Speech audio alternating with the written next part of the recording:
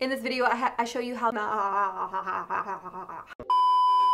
What's going on Slay Baes? It's Ashley and welcome back to my channel.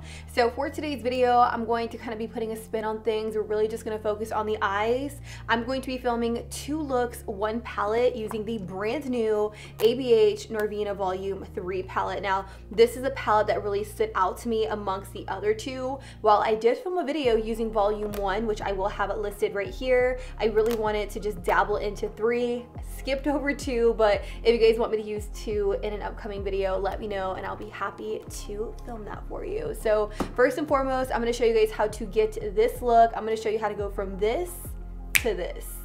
I know, full on outfit change. Honestly, when I sat down to film this look, it was such a vibe that I had to give it a moment all on its own. You know what I mean? Anyways, I know you guys aren't here to hear me talk or do a lot of this. You guys wanna see how I got these two looks. So if you guys aren't subscribed to my channel already, make sure you guys subscribe and click that little bell so that way YouTube will notify you anytime I upload, which is every Monday, Wednesday, and Friday with that, let's go ahead and hop right into the video. I'm gonna first start off with a little bit of the ABH eye primer. Now, I don't wanna talk too much in today's video because we do have to get through two complete eye looks, which is why I'm primarily just gonna focus on the eyes today. I'm not really gonna focus on face or anything like that, but I will have all face products that I use in both looks down below in the description in case you guys are interested. Ooh, there's a lot of eye primer. A lot of eye primer honey. Now that my eyes are nice and primed, I'm just gonna jump straight in to the eyeshadow palette. I'm gonna take this shade right here called B5. It is more of a warm tone brown. I'm gonna take it on an M441 and I'm just gonna take this in my crease. This is gonna be my transitional shade and I'm just going in big circular motions. A lot of you guys said, hey, don't set down your crease. You're doing it wrong. So I'm doing it right today. I'm doing it right. I mean, you guys are the pros. What do I know? All right you guys so this is blending really really nice in my crease. It's like a nice wash of brown. I definitely want to build it up a little bit. So i am going to go in with this shade right down here. It's called d1 Ooh, that's definitely like a really pretty like pumpkin shade. Like not quite sienna but just like pumpkin. Pumpkin spice. Can you guys believe i haven't had a pumpkin spice latte yet? What so yeah, I'm just taking this color and I'm really just packing it right here in the crease just to kind of deepen it up. By the way, I am using an M514 to do this step. Norvina really hit it out of the park with these eyeshadow palettes. I feel like these are the most creative palettes of 2019 hands down. Now I'm gonna go in with the shade right here called E2 and I'm gonna use that same brush, that M514, and I'm just gonna start packing it on the outer V to kind of create some dimension in this area. I'm not gonna take it above the crease though. I'm really just gonna focus it like on the lid and slightly in the crease. I'm using this color just to create a little bit of definition. Not gonna lie, this palette is blending out incredible. I don't know if it's just because I'm working with the warm tone shades right now and the moment I start working with color, I'm like I'm also just gonna take a smaller brush and pick up E2, which is that kind of burgundy shade, and I'm gonna press it right here in like the very inner corner just to create some dimension. I'm gonna take an M507 and I'm just lightly going to blend out that burgundy because I don't want it to be as dark and harsh. We want a nice blend. Let's actually do a little bit of cut crease action. I'm going to take a little bit more of the eye primer and I'm going to take my Morphe brush. This is an M124 and I'm just going to carve out a little bit of lid space because why not? I want these shadows to stand out and pop. So I have a little bit of lid space carved out. It's not perfect, but it's not meant to be perfect. The colors I'm gonna put over top are meant to be perfect. So I'm gonna take this shade right here. It's called C1. It's so pretty and just so blinding. Honestly, the shimmers in these palettes are unreal. So I'm gonna use that same M124, and this is gonna be my first shade. So I'm just gonna place it right here closest to that burgundy and I know it looks strange but I'm actually to blend that shade into the shimmer in a second so everything just kind of melts into each other. So don't even worry. The next shade i'm going to use is this one right here. It's called d2 it is a really pretty orange shade. I will also say that d5 looks very very similar to d2 if i'm being completely honest i definitely feel like they could have did like a slightly darker shade than that of d2 because those look very very similar if not identical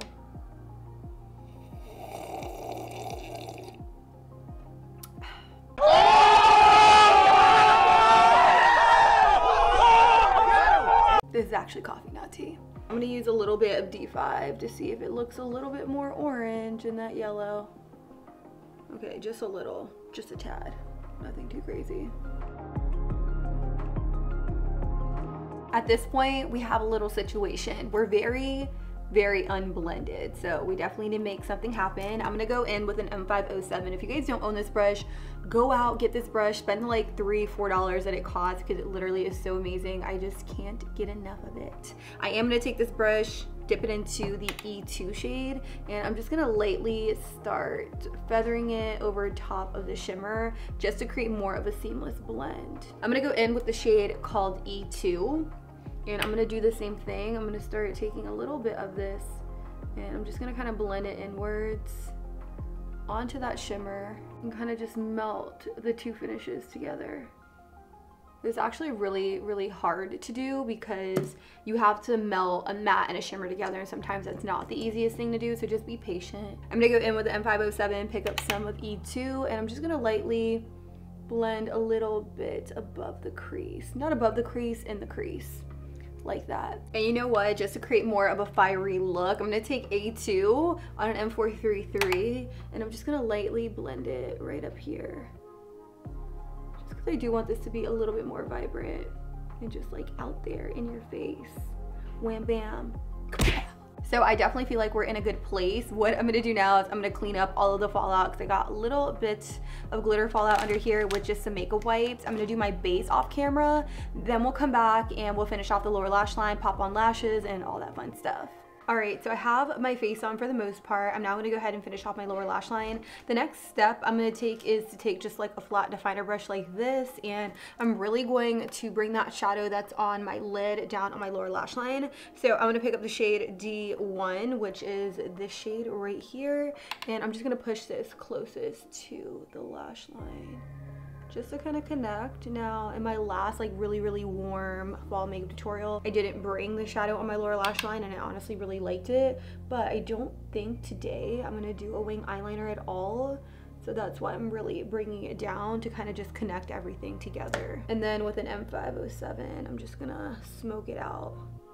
And then with that same flat definer brush, I'm gonna pick up E2, which is that burgundy. And I'm going to really just pinch this outer V and really focus the shadow closest to the lash line. Of course, since I'm hella extra and I love to use these in my videos, I am gonna use a ColourPop gel eyeliner. This one is in the shade Unce. I have used this quite a bit on my channel so far. Honestly, if you guys haven't tried these, I just recommend like 110% because they're so, so pretty. I literally have them in every single shade. No shame. And you know what, since this is a super colorful palette, I definitely wanna add like a different pop in the very inner corner. So I'm gonna pick up this shade right here called A1 on a pointed crease brush. This is by Collab. These are launching soon, if not already, in Sally Beauty stores because why not? Why not add something a little, a little extra? I also want to pop on like a shimmer over top because it's just looking flat and matte. So I'm gonna take C1, which is that lighter yellow, and I'm just gonna lightly pop it over that green just to give it a little bit of shimmer. I'm gonna use the MAC Extended Play Giga Black Lash Mascara, y'all favorite mascara for like my lower lashes, but since I'm applying falsies, I really don't need to go in with anything special for my top lashes, let's be honest. So I'm just gonna use this. Look how small the wand is. Like not small, like it's long, but it's like small, you get me? So I'm going to just coat my lashes and for false lashes today, I will be applying the Brittany Bare lashes in the style Verified. Unfortunately, these are limited edition, but Salon Perfect was nice enough to send over some backups because I freaking love this style. I'm gonna be really sad when they're all gone, but you know what? I'm just going to enjoy them while I can. always, always, it would happen to me. It would. But a little trick to getting mascara off of your face when you mess up like that is wait for it to completely dry. Take a clean spoolie and just kind of scrape it off. So we're gonna leave it there while I put on my falsies.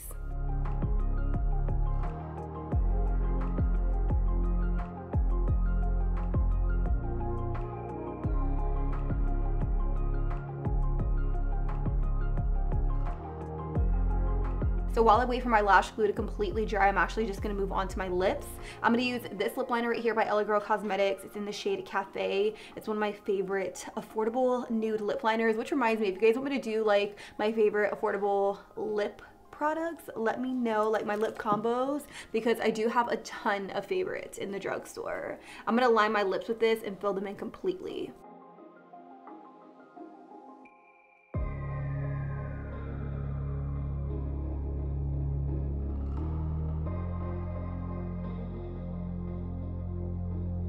And then I'm gonna go in with a little bit of Yash lipstick by MAC directly over top.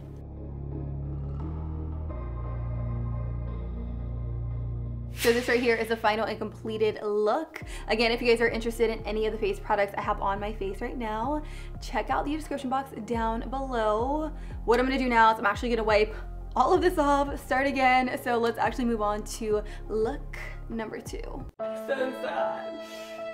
I did all of this work only to take it off.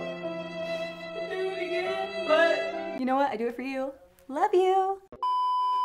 So let's be honest, I didn't have it in me to take off all my face makeup and do the second look all in the same day. So it's the next day, but we're here. We're gonna work on look number two. I already have my eyelids primed with the eye primer by ABH in case you guys were wondering. I'm now just gonna jump into the first shade, which is a shade right here. It's called A1. It's a really pretty like neon lime color. And I'm gonna take that in my crease to act as my transitional shade. I'm gonna use an ABH, an ABH. I'm gonna use an M441 by Morphe and I'm just gonna rock this in the socket. Can I just say today has been an adventure. It really has. I've been running errands like pretty much for the whole day um, just getting products and stuff like that and planning out content for you guys. So you should be really, really excited for the videos to come. So now that I have that lime color washed all in my crease as my transitional shade, I'm gonna amp it up just a little bit and make it a little bit more green. So I'm gonna take A4, which isn't that much deeper than A1, but I feel like it's gonna add a really, really nice contrast. I'm switching over to an M5, 1, 4.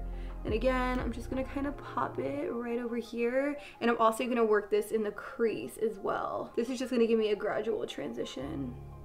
You guys, I never play around with colors, so when I do, I'm not gonna lie, I get a little intimidated. I'm just like, what the fuck do I do? You know, it's like I almost forget how to blend.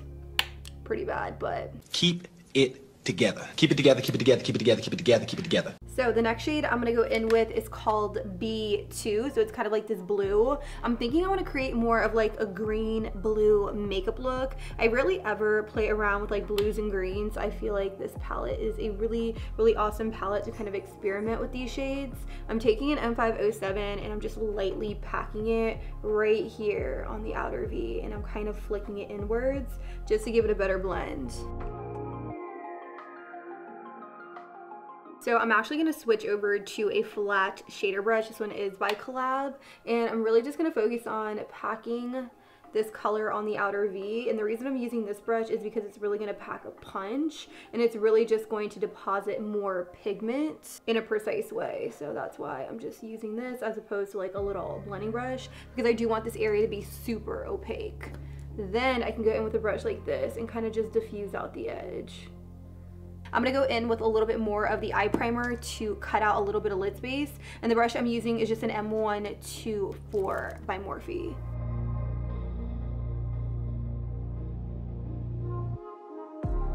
So next up, I'm gonna take C5, which is a shade right here. It is so freaking beautiful. And I am gonna spray my brush with a little bit of Fix Plus just because I want it to have a really nice lip. So I'm just gonna go ahead and tap it right here in the very inner corner of my eye, right onto the lid. You know what I find to be so crazy is that in the pan, the shade called C5 really looks like a green, but on the lid it kind of looks like, I don't know, it looks like a teal blue, if you get me. Now speaking of blue, I am gonna go in with this shade right here. It's called B1. It's a nice frosty light blue, and I'm really gonna focus the shade on the center of the lid. I'm gonna take an ABH A2 to really just pack it on and blend it into kind of like that teal blue we have going on here.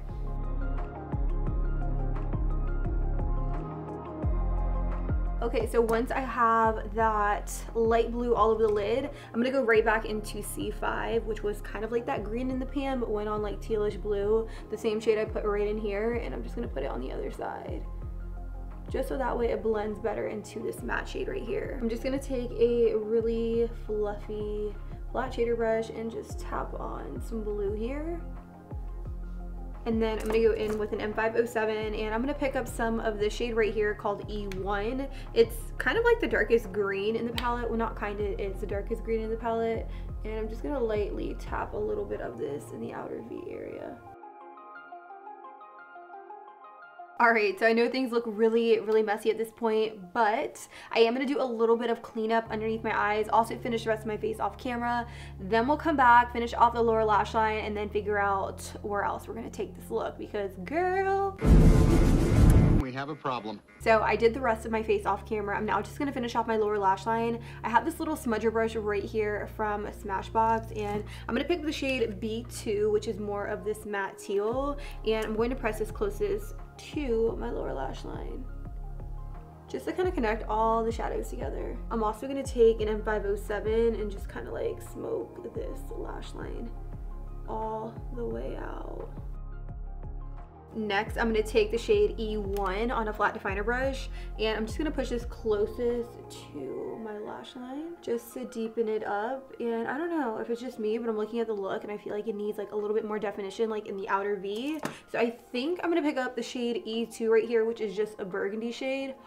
Do you guys see the pigment on that? That's so crazy, so crazy. I'm gonna pick up a little bit of E2 and I'm actually just going to blend a little bit right here. Gonna take a fluffy brush to kind of just, you know, lightly buff it. I really don't want to get too crazy with this, but I always say that with every look, so I'm gonna try my best. I'm gonna take an M507 with a little bit of that product there and just lightly buff it in the outer corner. Then with a big fluffy brush, I'm just gonna go in big circular motions.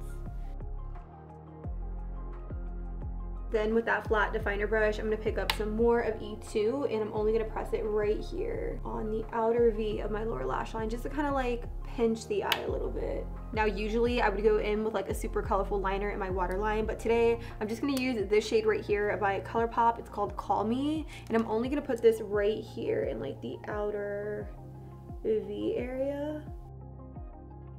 Then for my inner corner, I'm gonna pick up the shade called C1, which is such a beautiful yellow shade. And I'm gonna pop that in my inner corner for an added pop.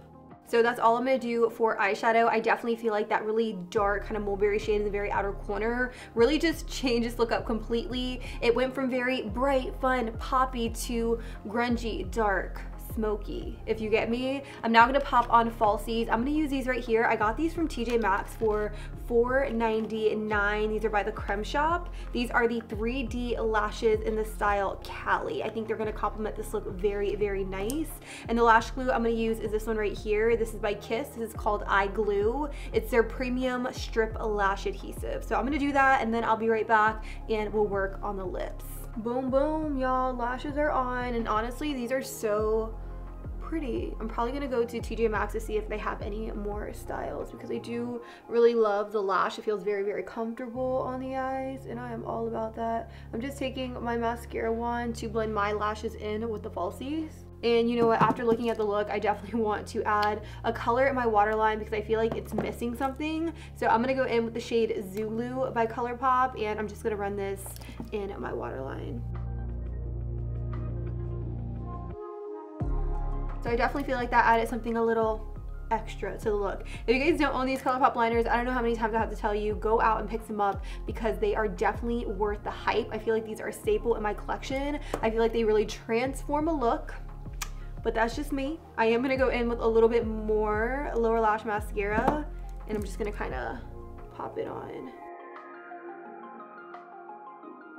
You know what? For my lip color, I'm just gonna do the same exact combo I did in my last look. I'm gonna use the LA Girl Cosmetics lip liner in the shade Cafe paired with my MAC Cosmetics lipstick in Yash.